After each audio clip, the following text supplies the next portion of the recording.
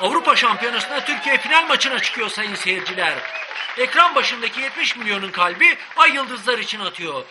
Heyecan dorukta. Beklediğimiz, arzuladığımız bir an. Buna ne yürek dayanır ne can. Büyük zafer için her şey hazır. Millilerimiz sahadaki yerlerini aldı. İşte ay yıldızlı 11 aslan. Zafere inanmış. Haydi çocuklar güldürün bizi. Hakemin başlama düdüğüyle millilerimiz de atağa kalktı.